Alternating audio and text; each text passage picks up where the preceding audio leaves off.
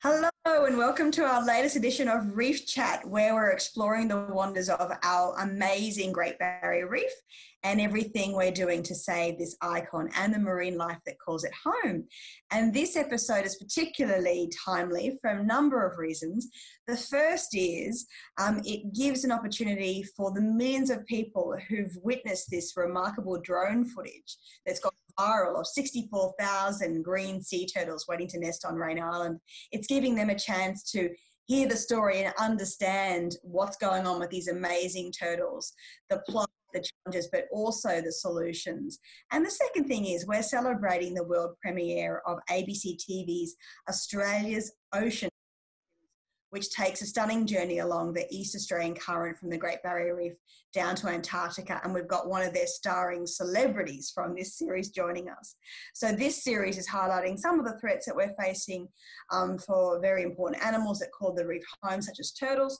But we're also taking a deep dive in the threats that they face. We love turtles, and we know that you know. I think we had a we had a reef chat a few weeks ago about turtles, and we we put out the bold statement that the turtle almost rivals the koala in the hearts and minds of Australians. And we talked about what an amazing project that's taking place to recover and revegetate and I guess re- transform the um, the Raine Island, which is the one of the largest sea turtle nesting areas. But today we're going to go a bit deeper. We're going to go into the threats and the solutions and the challenges, hear the story of these turtles. But more importantly, what we're going to meet is some of the remarkable people who I would say have given their lives, certainly their hearts and their minds over to these remarkable creatures. Um, the Great Barrier Reef Foundation is fortunate to have over 20 projects in action right now along the reef, all reef protection projects. And in that, we get the privilege of meeting absolutely the world's best reef champions and just really good Australians. So I'm really thrilled to introduce you to my new most favourite Australians, our panelist, Dr. Ian Bell, who's from the Queensland National Parks Threatened Species Unit mm-hmm. and a turtle expert and the star of Australia, ABC's Australian Ocean Odyssey series, where he very um, deftly does a turtle rodeo, and you should Google because it's a screen. And our other guest is Ian Anderson, who's a passionate turtle guardian, which is my favourite title in the world, with Team Turtle Central Queensland, who travels the lengths of, of the state to look after our reef turtles. Welcome, Ian and Ian, and thank you for joining us. Thanks, Thank you, Anna. Thank you, Anna. So we're going to start getting some questions thrown in from the joys of Facebook, but as I'm, I'm going to throw to the first one because you touched on it, um, Ian Bell, in the, the television show, and it's one that we get asked a lot about the feminization of turtles. Um, you know, what's going on with this, and, and why are we suddenly having too many female turtles? And look, as a woman, I think that's brilliant. Go girl power. But there is a challenge with us only be able to breed female turtles. So take it away, Ian, and explain that for us, please. You know, turtles have been around for 120 million years and they've evolved a strategy for being able to get a mixture of males and females out off the beach um, after they've laid their eggs. And that strategy relies on the sun temperature, the incubation temperature during that two months after they've, they've popped their eggs out. And they have what's called a pivotal temperature. So if, if the eggs are incubating at a temperature below a pivotal temperature, which in the northern part of the GBR is about 29 degrees, you're going to get males. And I remember that because you know, they're core breeds. Um, and if it's above that 29 degrees, you're, you're going to get females. So um, what we're seeing is the incubation temperature slowly increasing, and therefore it's it's it's resulting in uh, a, a, pretty much a night. What we're seeing now in those sort of dinner plate sized little turtles that are coming in from the open ocean, uh, we're seeing about 99%, um, sorry, about 60% um, female turtles. So so yeah, you know, we still do need some some boys um, out there, but uh, at the moment, yeah, we're, we're basically just producing. What we are thinking about is can other boys from other stocks come in and fill the gap that's you know being left by some of the, those northern um, Great Barrier Reef boys that without being produced. So there's, there's a few sort of dynamics in there too that we're trying to get ahead around that what might happen. But just the, so the magic temperature is 29 degrees. Is that right? Is that if the sand goes above that? That's right. Yeah. Above that, it makes a female. They stay female essentially, and if it goes under that, Right, yeah, it's, it's what's called a, a temperature-dependent sex determination temperature. So, and that's at 29 degrees. So below that's going to be boys, and above that's going to be females. So, but again, that that pivotal temperature is determined about mid-trimester of incubation. So they're, they're sitting, so yeah, so for those sort of 20 days, if, the, if there's a 60-day incubation period, it's sometime in that, that middle 20 days if the temperature during incubation is above or below that determines whether you're going to get boys or, or girls. Well, while we've got you, what what are the three you know the three top threats that are facing our turtles? Clearly, you know the the, the warming waters, the warming sand is having this impact. But what are other you know key threats to our turtles? Well, you know, again, turtles have been. It's a bit like a. I sort of liken it to a a mixed martial arts fighter in the ring. You know, they've been okay, yeah. turtles have been beaten up over the last you know couple of hundred years, but now we've got this sort of pendulum, this wrecking ball of, of climate change impacts that are coming in, and you know we've seen temperature rises, we've seen sea level rises, we've seen sea level you know falls, we've seen um, you know we've seen a whole whole lots of things, but typically the population has been robust to be able to cope with those impacts. Now we're looking at at a population that is compromised. Um, so whether they're going to be able to handle or not, but sort of, a, and again, defining what the big three are now is is difficult. But um, you know, certainly climate change with with effeminisation and nest inundation, sea level rise uh, is a biggie. Um, and again, in different parts of the reef, we're seeing different impacts. So along the coastal areas where, where Ian is, you know, lighting uh, along the beaches. Um, mm you know, boat strike and those sorts of things. But in some of the more remote areas, it's it's water quality and it's and it's plastic, you know, ingestion or entanglement in plastics and and those sorts of things. So, you know, the big three I would put down now, and again, it's I, am generalising, but um, um, predation of nests, and we're seeing 100% of nests being predated on, on Cape York at the moment. There's been, wow. some, there's been some fantastic work done on, on that, but um, and is that uh, pigs, Ian? Is it are pigs the the, the yes. yeah? yeah. yeah. feral pigs, not like you know, babe, really ugly, gross, no, bad pigs. Yeah. No, and there's been a lot of money being spent on reducing pigs, and they've had a tr- and the communities up there that have been involved in it have, have done a fantastic job. And you know, they they concentrate on it. They can knock the population down and they can they can get you know 80 90 percent hatchling production. But then pigs are capable of 2.2 offspring a year. So if you don't do it every year, it's like weeds. You know, if you don't control them, they just blossom back again. And um, and and and now I was talking with one of the people doing the work up there, and they're seeing 100% predation of nests. So, and then along the east coast, we're seeing pigs as well in north, foxes and dogs in the south. Um, so that, that, that's a big impact. Um, also, entanglement and ingestion and interaction with fisheries. You know, the, the, the, the, discarded ghost nets that are, that are washing down from Southeast Asia. Um, um, you know, huge impact in the Gulf and, and a little bit on, on the East Coast as well. But inshore gill net fisheries, some of those, there's been some fantastic work has been done um, to try and, to try and um, address that. But it's still, it is still an impact. And, and the other thing that we're seeing, and we're having reported to us by some of the elders in the communities, is a level of unsustainable take by some communities that that you know that that that elders are really worried that, that too many turtles are being taken by some of the young fellows and those sorts of things. But again, we've got things in place, we've got programs in place, we're developing agreements, we're developing educational awareness and those sorts of things to address that, that sort of thing. The other thing that we've got to understand is that we share our turtle populations with our neighbouring countries, Papua New Guinea, Vanuatu, New Caledonia, um, and Joe, and those of things. So while we can protect them here, once they go to these, some of these neighbouring countries, again, they're going to be facing a range of threats there as well.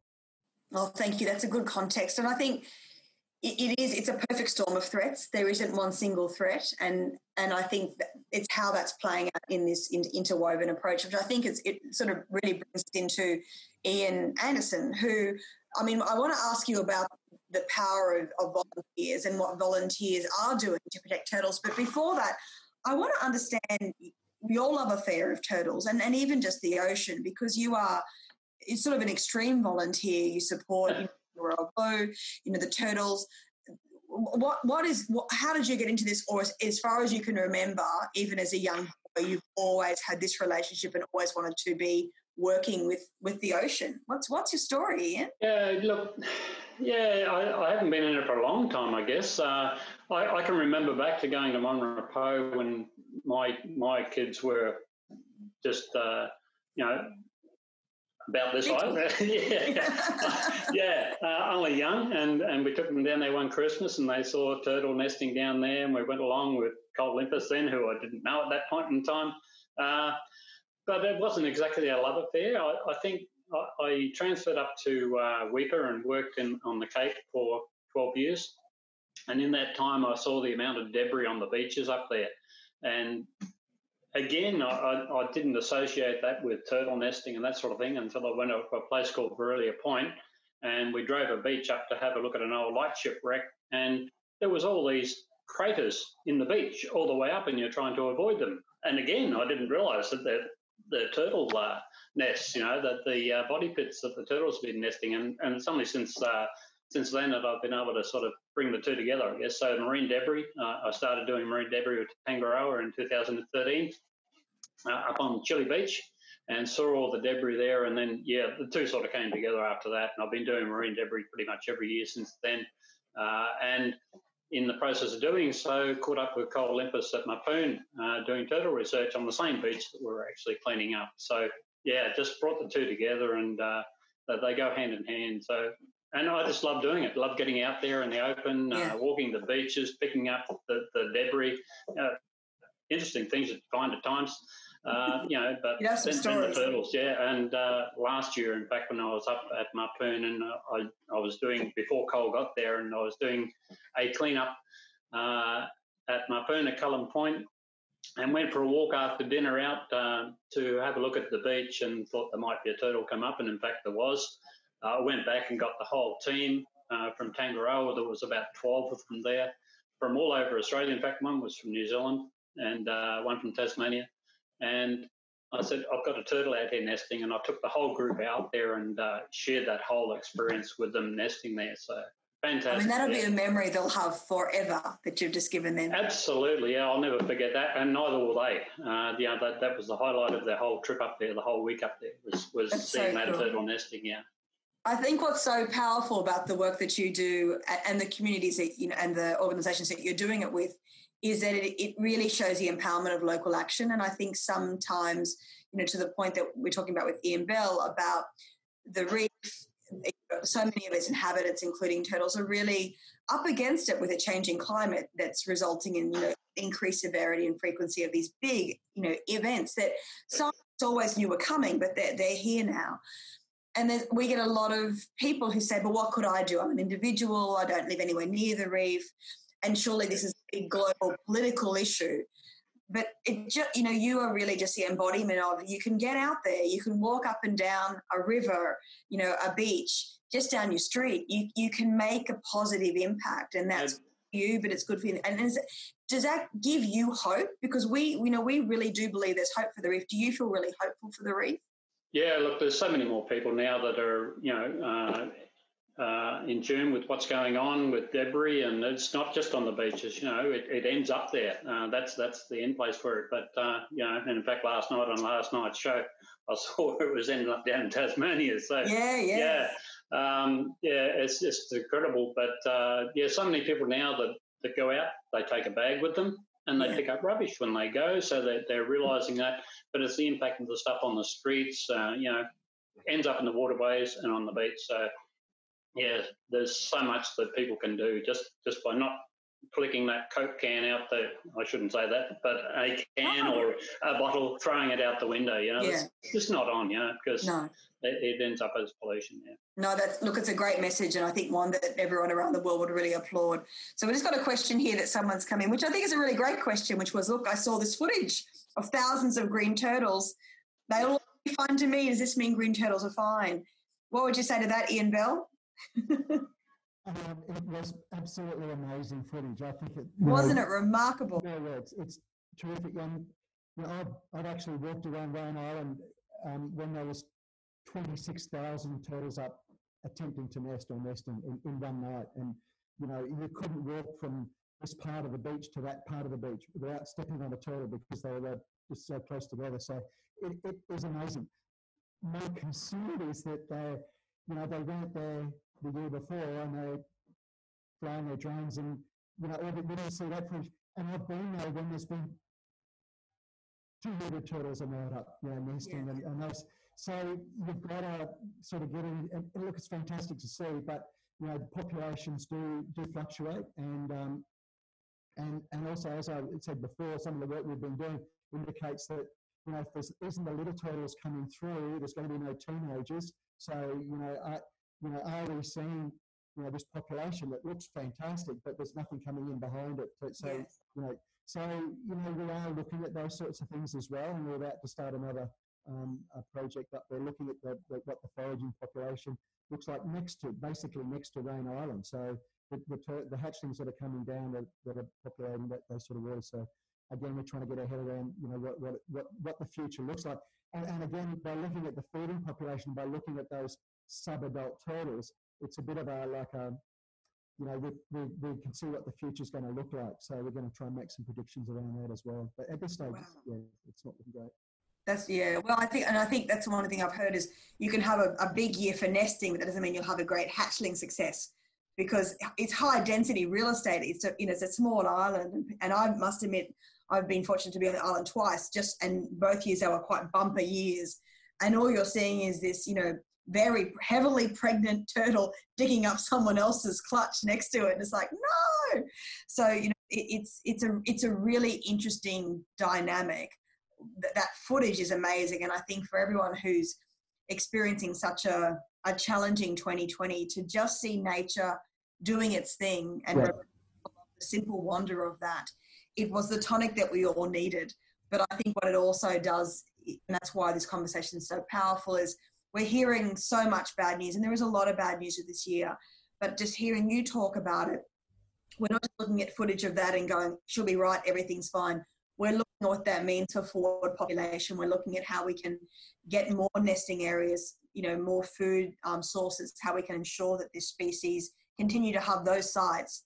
And we almost take them for granted, which is that's what success looks like, I guess, isn't it? it it's amazing. You know, it's it's to, to, me those sort of mass migrations is like the the wildebeest across the, the Serengeti and the you know the, the monarch butterfly migrations and the, the you know, it's just amazing to, to think that they can coordinate their breeding to happen, you know, all, all, at the same time and arrive there. But yeah, I think, and it's fantastic to see, but I, I don't think it's the same for us to take our foot off the, the accelerator with what we're doing. And, you know, you know, even though we're saying that, yes, you know, there's, there is hope out there. We've got to have hope, and, and yet let, let's use that as a as a you know, way to go forward with it.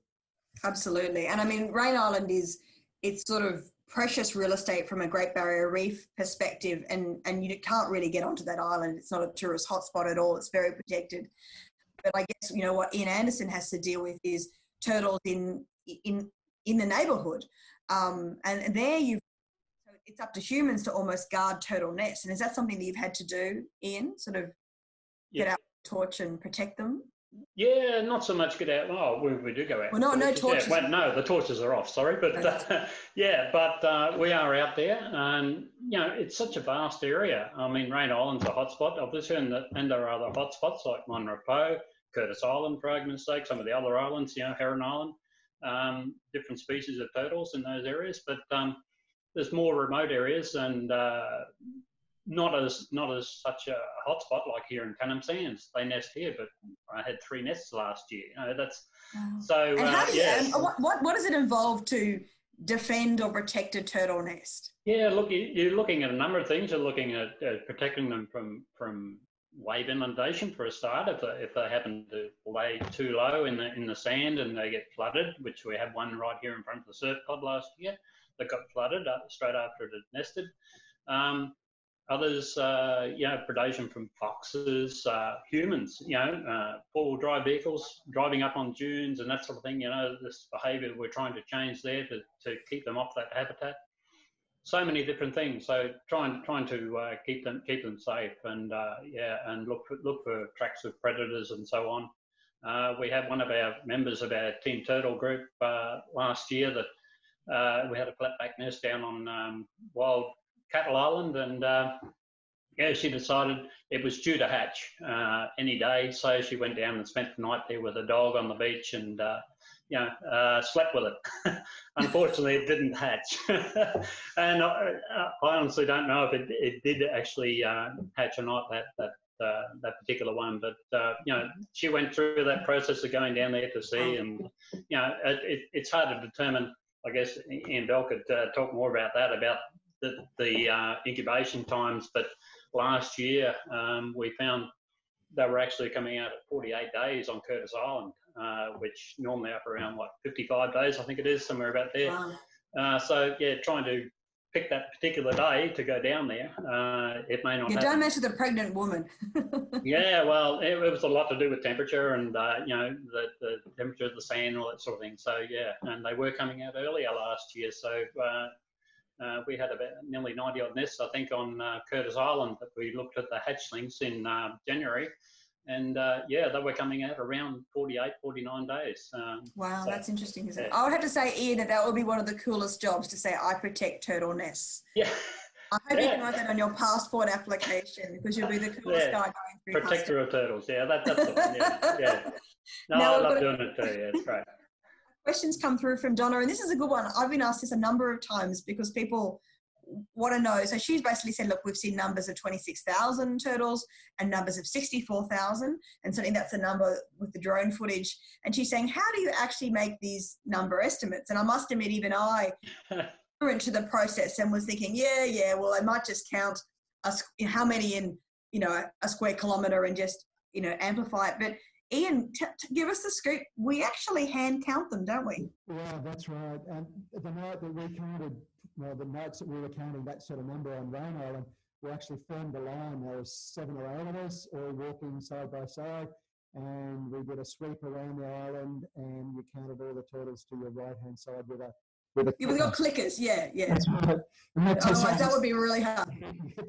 was that was that four or five or six or eight or yeah? So, but no, it, it's a pretty accurate count, and, and we did, did the one sweep around the island, counting counting every turtle on the island. Yeah. And I think that's what's been really powerful with the the use of technology because that is how it's been. And then also in the the good old days, um, a couple of years ago, they used to paint a turtle's um, hat back with a white mark, and now at least with the use of drones, you can have quite high sort of vantage to have a look and count as well and really proof check and fact check those numbers, can't you?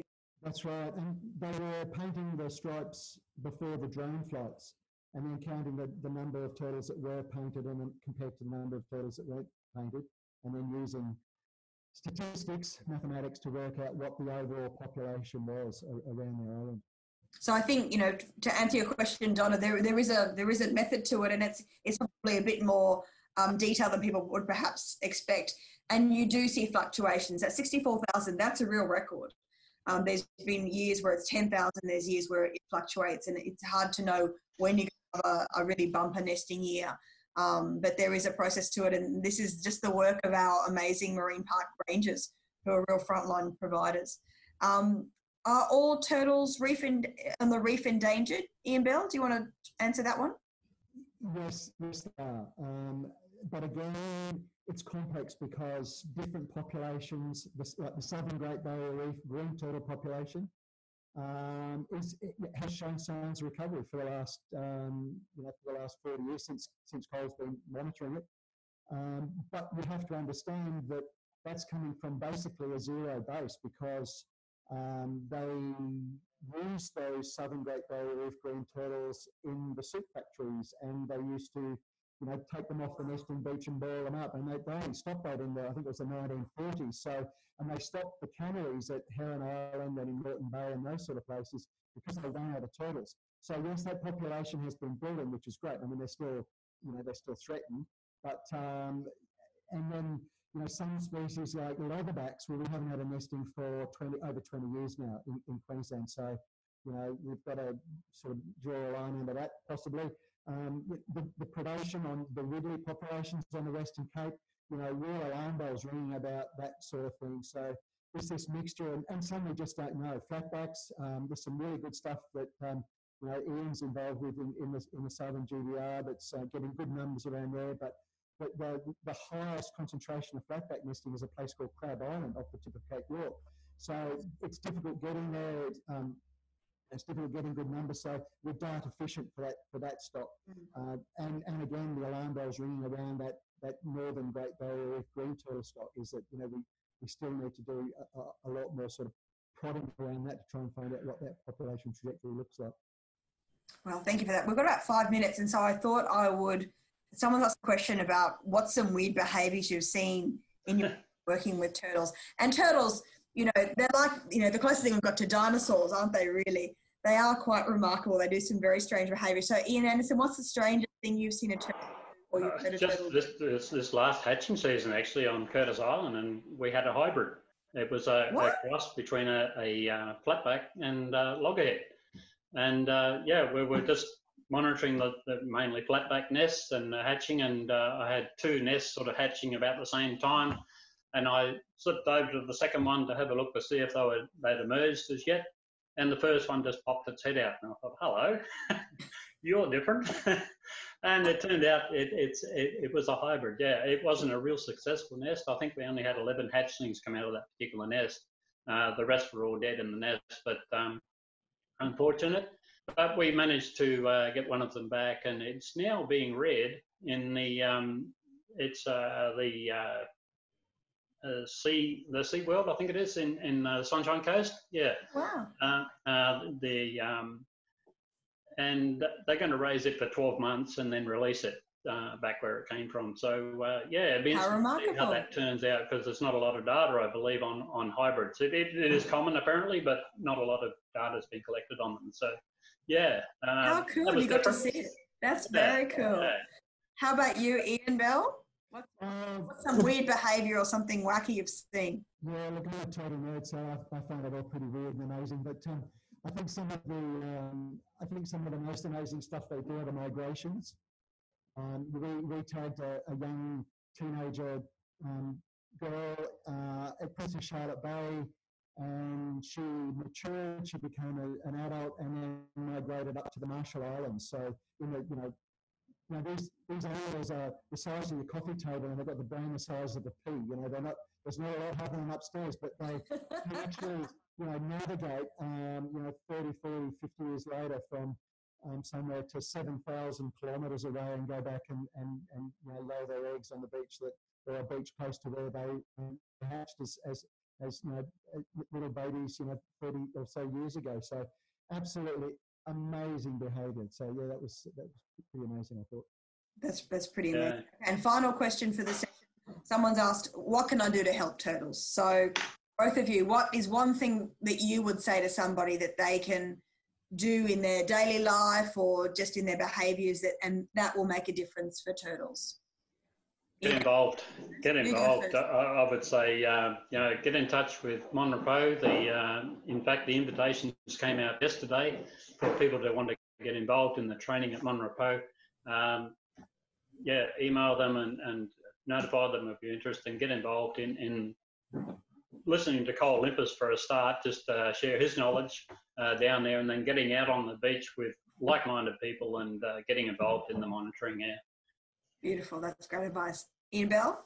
Yeah, it is difficult, and I, I, I, agree with what you said earlier. I mean, people seem to be overwhelmed. You know, we've lost you know 90% of fisheries and seabird populations have declined, and little fairy things were lost in the massive fires we've had. We just seem to get bombarded with this sort of bad news. And you know, what can I do as an individual? But I think, and, and I get, I get that it's difficult, but I think it's not what, you know, what anything can we do. I think we've got to do everything now. Um, and, and I think supporting NGOs um, to do the work that are doing it full time. It's difficult to do as an individual, but support the Great Barrier Foundation that are, that are, that are doing those things. Support the, you know, the Australian Maritime, uh, the, you know, the, the, the, conservation NGOs. So that's that side.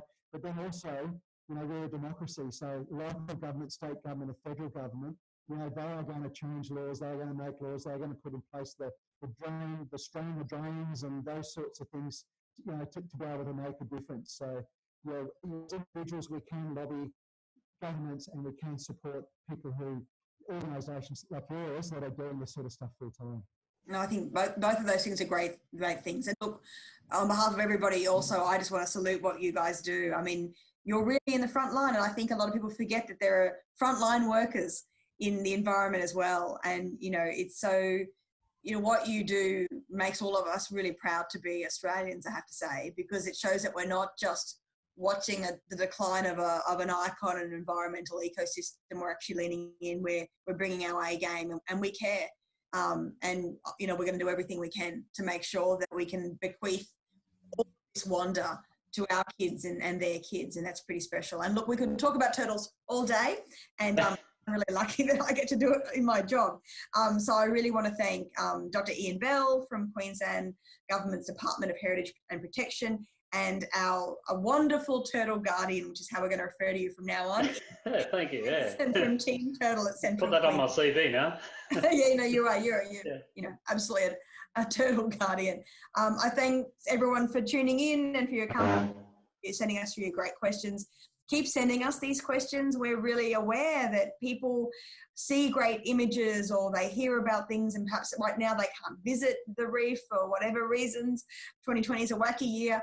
Um, we want to make sure that we can bring the reef to you, bring its wonder to you, but also give you the story of not just the challenges, but also the solutions and what we can all do as individuals, as countries, as communities, um, and, and as a mass. You can also visit our website, www.barrierreef.org, to find out more about our irreplaceable reef. And until next time, from all of us at the Great Barrier Reef Foundation and from Ian and Ian, um, stay safe and thanks so much for your support. And see you later. Bye. Bye.